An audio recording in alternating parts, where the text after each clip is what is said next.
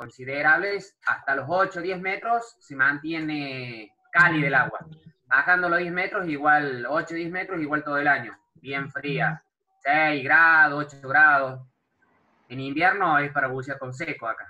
Pero bueno, tenés diferentes tipos de, de buceo, desde buceo en, en algunas estructuras sumergidas, eh, buceos en lagos, eh, entre medio de algas, eh, o- y básicamente es bastante turbio, pero el- lo que se le trata de inculcar a la gente es el buceo de por el placer de bucear, no tan solo porque se vea, porque para ver el Caribe. Yo tengo Acá, una anécdota. Yo, yo tengo una anécdota de un gran amigo que se llama Pablo Ojeda, que es profesor. En Venezuela íbamos a, bucear un lugar que se llamaba Chichiriviche de la Costa, y ese lugar tenía este, una, un afluente, un, un río. Entonces, cuando llovía en la cabecera del río, eh, eh, entraba agua, agua marrón, agua café a la bahía, y de hecho nosotros lo llamábamos chocodiving. Y un día llegamos y la visibilidad, era, era aproximadamente era una cuarta, pero no así, era así. Y mm, cuando llegamos, lo que él dijo fue, ¿y quién dijo que nosotros venimos a ver? Nosotros venimos a echar burbujas. Eh, Es eso, acá básicamente es eso. Eh, una vez que le, le tomas eh, el gusto a- al buceo acá, normalmente tenés, eh, en invierno la mejor época para bucear, tenés una visibilidad, pero acá una visibilidad para nosotros de 6 metros es excepcional. Normalmente buceamos con 3, 4 metros eh, de visibilidad y estamos más que felices. Y en época esta, en época de lluvias, podemos llegar a bucear con metro y medio de visibilidad.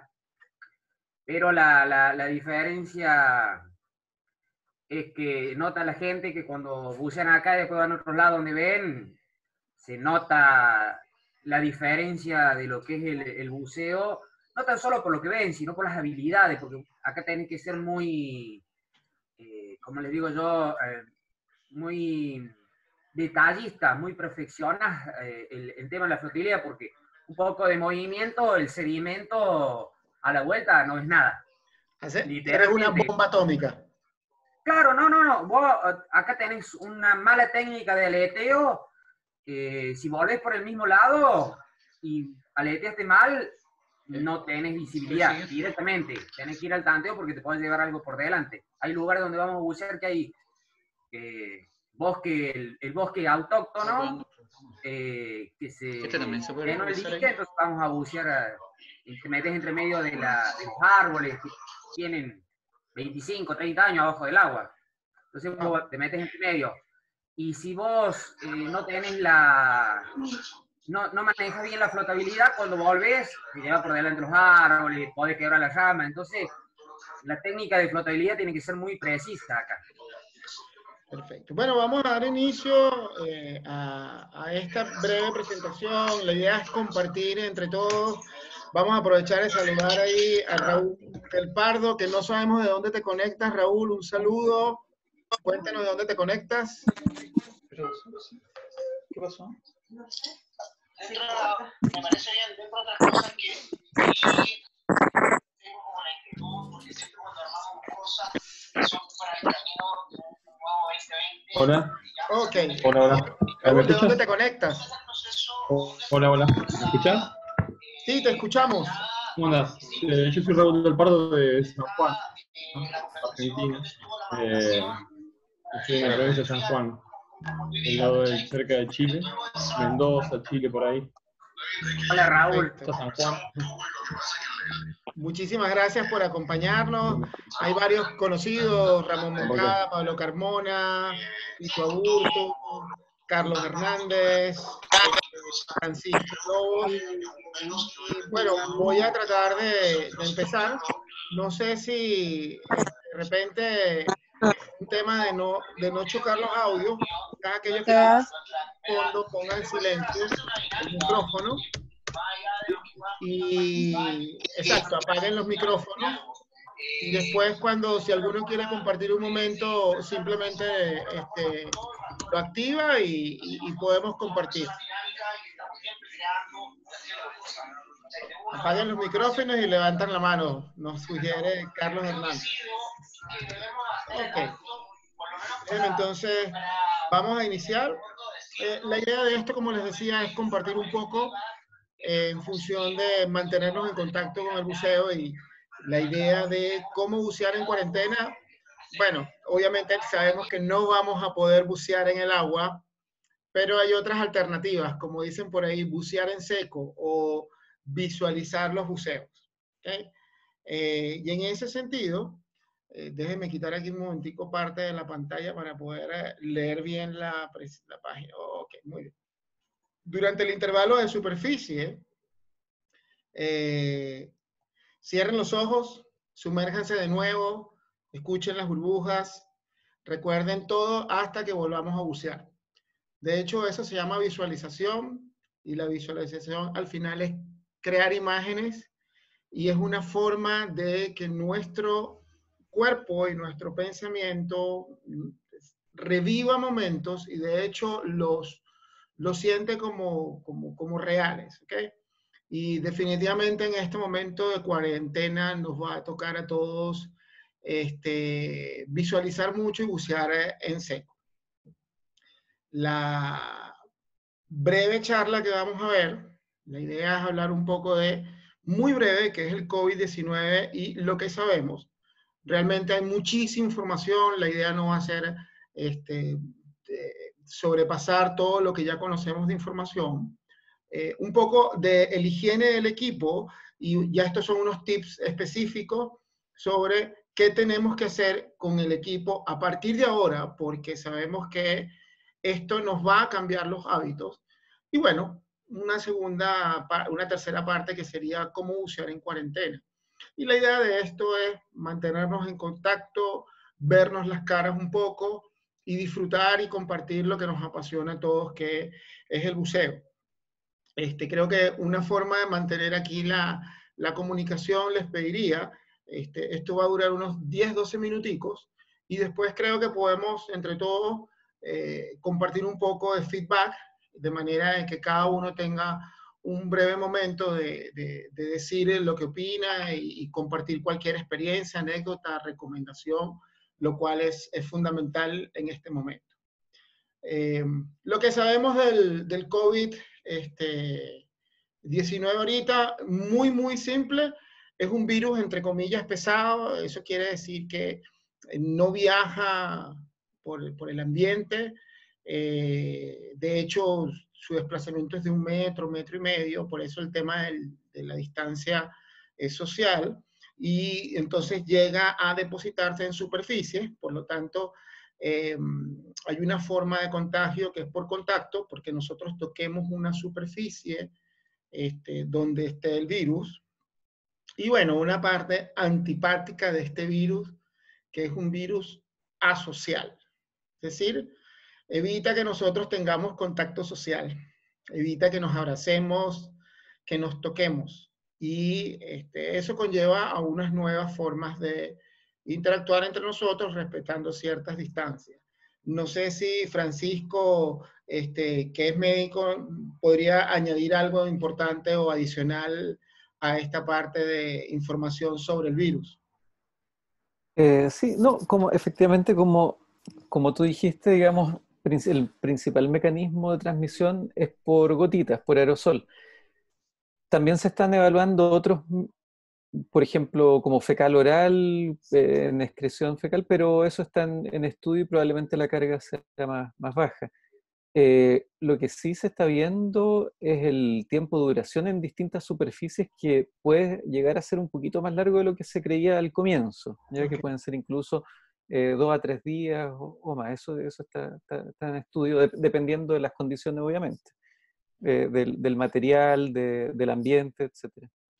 Perfecto. Algo que, que, leí que no sé si es totalmente cierto, Francisco, y quizás nos puedes ayudar un poco, es que este virus está protegido o envuelto en, como en proteínas de grasa y que, bueno, por eso es que el tema de los... Eh, productos como el cloro eh, hacen efecto porque de alguna manera disuelven la capa protectora del, del, virus y obviamente entonces permite que éste no haga acción. No sé si eso es realmente... o sea, eh, en, en, realidad ni siquiera el cloro, por eso el jabón basta, el jabón detergente que, que, se ocupa para sacar la grasa, porque efectivamente todos los, todos los virus son, son iguales. Eh, las bacterias también tienen, digamos, están como las células nuestras, que digamos la membrana es, una capa de grasa, de lípidos.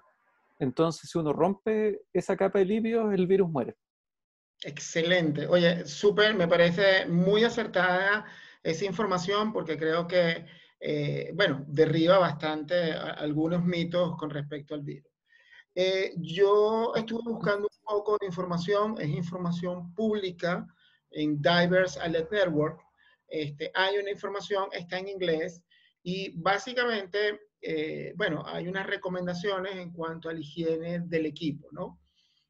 En esencia se recomienda eh, o se habla de que debemos tomar en eh, consideración desinfectar equipos que estén directamente en contacto con nuestra boca, nuestras mucosas, ¿no? Llámese entonces boquilla de un regulador, sí entonces con el propio regulador, visor de buceo, porque acuérdense que nosotros el visor también lo tocamos con las manos, el inflador del chaleco, el snorkel que también es una boquilla. En cuanto al traje, eh, realmente no encontré ningún tipo de recomendación directa. Sin embargo, con lo que acaba de, compartir Francisco con nosotros, quizás debemos tomar en cuenta el solo hecho de quizás sumergirlo en algún tipo de, de desengrasante, de jabón, este, líquido, la balosa o algo de esto, entonces podríamos estar eh, el traje también eh, limpiándolo, ¿no? Otro elemento importante es que eh, todos los equipos que después pasen por algún tipo de limpieza debemos enjuagarlos, ¿no? ¿Cómo limpiamos el equipo? Bueno, es bastante sencillo. En el artículo de Dan, básicamente incluso dan una lista gigante de productos este, de limpieza. En esencia, como decía, nos compartía Francisco, cualquier desengrasante, cualquier artículo de limpieza puede cumplir esta función. Básicamente ahí hablaban un poco de artículos que tuvieran cloro. Y generalmente se habla de que utilicemos cloro al 10%. Eso quiere decir una parte de cloro por nueve partes de agua y permitamos que actúe unos 5 o 10 minutos eh, sobre nuestro equipo de buceo. Eh, hay también unas recomendaciones sobre utilizar las tabletas que estas que hacen el agua potable. Entonces, igualmente es eh, en algún tarro de agua, todo de agua, colocar una tableta de estas en función de lo que indique el fabricante, es decir, no sé, por cada 5 litros una tableta, por cada 4 litros una tableta, y de esta forma permitir que actúe algunos minutos. Em, el uso también de toallas desinfectantes, de estas que tienen cloro, eh, también puede ayudar. Y algo importante entre todas ellas es que eh, efectivamente después que permitamos que eh, actúe el producto, debemos enjuagar con agua. Sobre todo quienes eh, siempre vamos a piscinas eh, para dar instrucción, eh, hay partes del equipo que el, desgaste que le produce el cloro es significativo. Por ejemplo, los trajes pierden elasticidad, se rompen las microceldas de aire.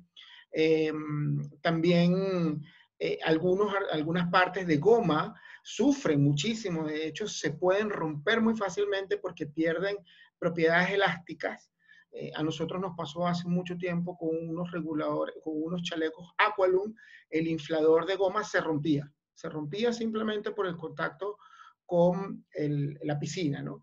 Y esto fue por error nuestro, por no enjuagarlo después de eh, el contacto con el agua con cloro. Entonces, el, tema de enjuagar posteriormente es, es fundamental. Eh, por aquí Carlos nos habla y nos comenta que el amonio cuaternario también sirve. Eh, Carlos, ¿nos puedes decir un poco más específico qué es el amonio cuaternario? Porque realmente no sé si eso es ácido muriático eh, o qué otro, dónde se consigue ese producto. Cuéntanos ahí mientras lo dice. Sirve para desinfectar superficies. Ve escribiendo un poquitico ahí, con gusto lo digo. El Potenza, nos dice eh, Pablo, Pablo Carmona, que es el producto, SIDEX. Bueno, en, función o en general, lo importante es que accedamos a algún, algún producto comercial Miguel. que tenga estas capacidades. Dime. Los ayudo un poco con eso, porque me ha tocado harto con, con esto del corona. El amono cuaternario es un desinfectante de superficie que tiene la característica que dijo Francisco, de descomponer, podríamos decirlo, la membrana tanto bacteriana, es un bactericida y un viricida de amplio espectro. Muy bueno el potenza, la gracia que tiene que no daña las superficies, no tiene el efecto del alcohol o del cloro y lo encuentras a un valor mm, bastante económico. Nombre comercial aquí en Chile que lo puedes encontrar en casi todos lados, lo produce Difarma y es Potenza. Así lo encuentras. Viene en un aplicador con spray y tú lo aplicas directamente sobre los equipos. Y si yo les encuentro una foto, se los voy a enviar para que lo puedan ver y lo puedan reconocer. Oye, excelente ese, ese dato tanto de, Carlos como de Pablo. Y Pablo y Carlos, pregunto, ¿y este artículo cuál es el componente activo? Porque, por ejemplo, para los que están en, Argentina, de repente no es el mismo producto comercial, pero pueden buscarlo por, por, ingrediente activo. Eh, perdón, el, el bialcohol que nosotros conocemos, eso, eh, digamos, la base son amonios cuaternarios, que de hecho por eso no arde como el alcohol. Oye, excelente. De verdad que muy, muy, muy, muy buen dato. Bueno, durante esta cuarentena, buzos, ¿qué podemos hacer? Eh, bueno, aquí compartimos algunas ideas. Eh, uno es este, que hagamos mantenimiento o mantención a nuestro equipo. Eh, hay dos niveles de mantenimiento. Un nivel menor, que, que realmente voy a producir un video en estos días para explicarlo. Este mantenimiento menor va desde ver si hay eh, sulfatación en las mangueras, en la unión con los reguladores, eh, si hay algún tipo de leak o goteo en alguno de nuestras eh, uniones de la manguera con el manómetro, la manguera con el regulador, y poder cambiarlo. Realmente ese mantenimiento menor es bastante sencillo como les dije, pronto voy a hacer un, un video específico de eso y lo podemos hacer en casa. Para esto necesitamos herramientas muy sencillas como una llave ajustable.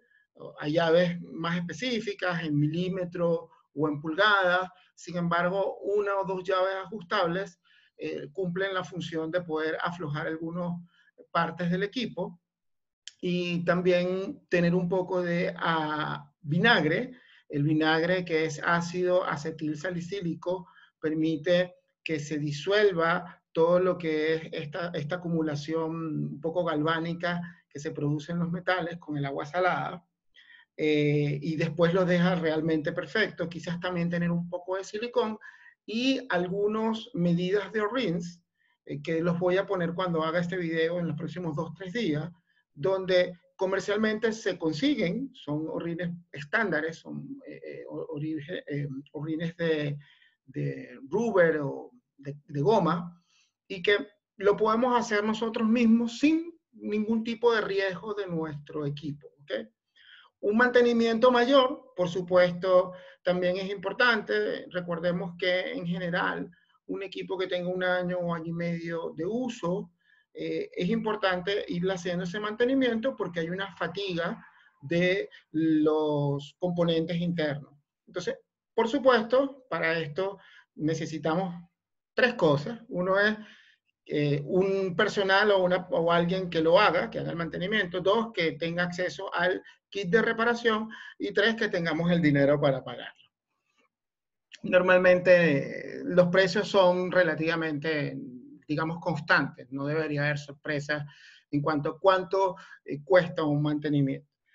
Y en función de eso también es importante que nosotros como usos eh, poco a poco tengamos ciertas herramientas básicas, esas herramientas básicas las podemos adquirir en cualquier ferretería y un poco puede ser llaves ajustables, pinzas, este, llaves Allen, eh, algunos exploradores de estos dentales, eh, destornilladores tanto Phillips, que son de cruz, como de paleta, algún lubricante tipo silicón, eh, algunos horrines de medidas que después lo voy a compartir cuando haga el video, algunos amarracables, etc.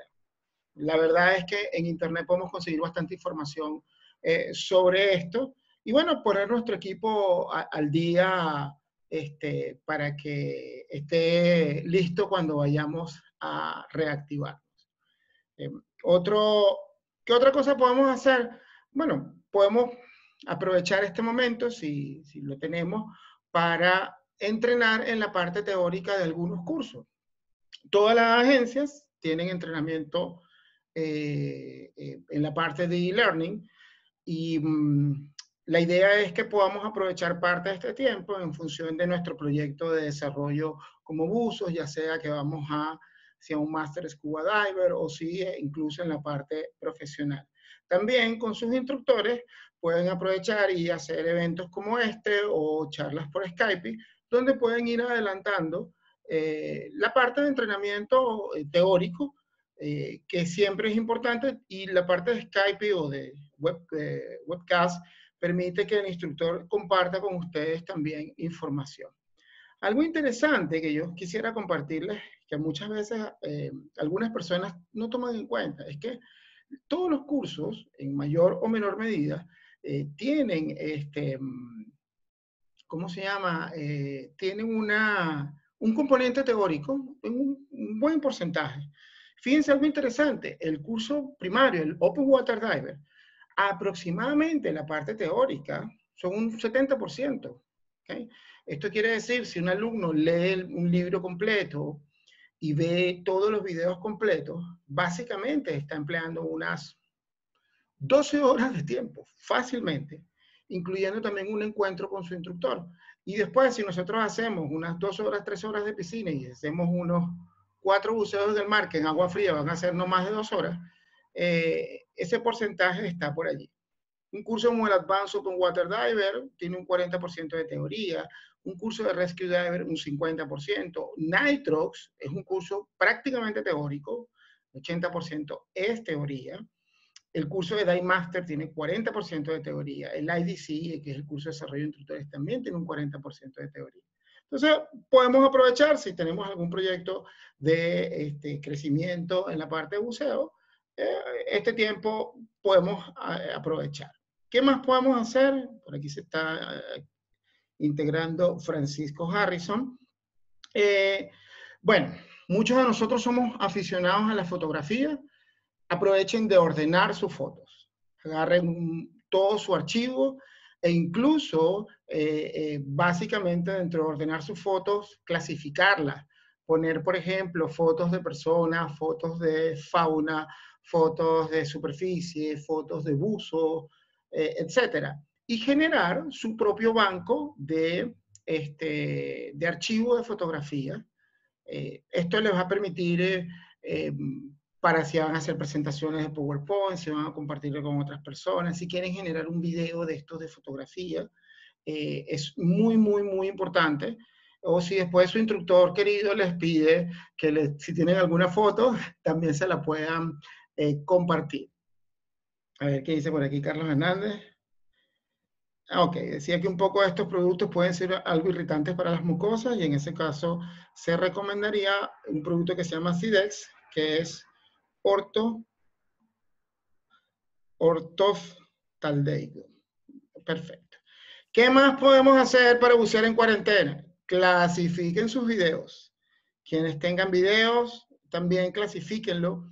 Una, una técnica que yo utilizo es que obviamente mis videos están por carpeta, pero eh, para no perder la eh, numeración natural que nos da este, GoPro o cualquiera otra de los este, eh, de las marcas, lo que hago es que después de la numeración yo coloco de qué consiste el video. Entonces, por ejemplo, Francisco en Trim, Jorge en Simon, y así voy generando. Entonces, tengo un histórico por carpeta que me permite saber en qué consiste cada video. Y créame que una de las cosas importantes de los videos es que gasta tiempo el saber de qué consiste cada video. Otra recomendación es que, bueno, que esa sería previa, eh, dice que la reunión tiene unos minutos limitados, ya estamos casi terminando. Entonces, em, en este caso, una de las cosas importantes es que generen siempre videos cortos. Generar videos cortos me permite verlos y gastar menos tiempo. ¿Qué más podemos hacer? Investiguen, aprovechen este tiempo para investigar. En YouTube, cantidad de contenido de buceo tenemos. Este, en la web también tenemos muchísimo contenido interesante, páginas web, videos, etc. Aprovechen este tiempo para investigar las características de cada marca con sus equipos. ¿En qué consiste? ¿Cuáles son las características incluso de su equipo o de alguno que quieren? También Netflix tiene cantidad de eh, artículos, eh, de, videos, Diving into the Unknown, un documental maravilloso, Mission Blue, eh, Planeta Océano, Chasing Coral, etc. De verdad que tenemos cantidad de contenido hoy en día que podemos ver y compartir. Okay. ¿Qué más podemos hacer? Eh, bueno, yo les decía, ah, recuerden sus, eh, sus entrenamientos. Algo que nunca hacemos es que yo hice mi curso Open y más nunca me, ocupé del curso, más nunca vi el, curso. Entonces, aprovechen, vuelvan a leer eh, su, su, material de, de Open Water Diver, cualquier otro curso, repásenlo, léanlo, vean video, reaprendan en seco, eh, generen estrategias para decir, oye, mira cómo yo hacía esto, hay alguna forma diferente, y en función de eso, cuando nos reactivemos, bueno, podemos perfectamente generar una estrategia para mejorar. Eh, bueno, como les comprometí, esta reunión va a ser un poco corta, o ya es corta. Eh, les invito a, visiten ahorita, yo acabo de subir un video en mi YouTube, el canal de YouTube Mike Simon. Eh, acabo de, hacer un video específico de cómo lavar el equipo, es bien sencillo, es un video de cinco minutos, pero donde muestro el producto, donde lo hago, de manera de que puedan perfectamente ver cómo hacerlo y algunas recomendaciones con equipos de arriendo, etc. Eh, ¿Qué otra cosa? Dentro de las cosas que queremos hacer pronto, eh, pronto me refiero a este fin de semana, quizás repetir algo como esto, pero el proyecto es algo así como que cada uno cuente su historia en cuarentena y nos podamos ver las caras así como lo hemos hecho, como hemos conocido a Mariano, a Raúl, que son vecinos y que este, agradable vernos los rostros, también escucharnos. Y la idea del próximo, del próximo evento es eh, compartir eh, historias de buceo que, alguno, que cada uno pueda echar una anécdota. ¿okay? Eh, y bueno, la idea de esto fue tal cual como lo hemos cumplido, hablar un poco del COVID-19, eh, sobre la higiene del equipo y cómo bucear en cuarentena. ¿okay? No sé si alguno quiere compartir alguna, este, alguna, alguna reflexión final.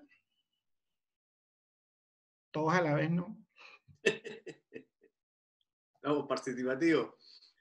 Francisco, te echaste un corte de cabello. Uh, sí, ya no me queda ya. del, poco, del poco cabello. Sí.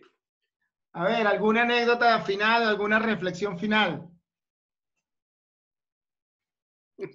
El grupo no está muy animado, parece. Atrévanse. Yo los tengo que dejar porque voy a ir a llenar la tina. Para los, para los amigos de Argentina, la bañera. Exactamente. Pensé que iba a hacer un asado. Chuta, ese lo tenemos, bueno, pues recontrapendiente, recontrapendiente.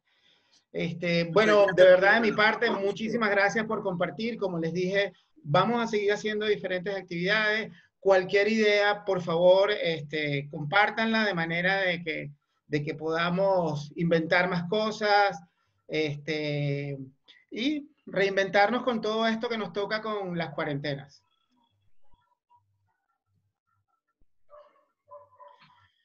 Bueno, muy feliz noche Vale, para Miguel. todos Un abrazo. Muchas gracias. y Miguel. muchísimas, muchísimas gracias. Bueno, gracias. Vemos. Chao, Miguel. Chao, chao a todos. Nos veremos. Nos vemos. Chao, chao. Gracias, saludos a todos. Mariano. Ah, ahí, ahí, ahí está. Chao. Chao. Chao, chao. Finalizar. Nos vemos. Muy bien. Chao.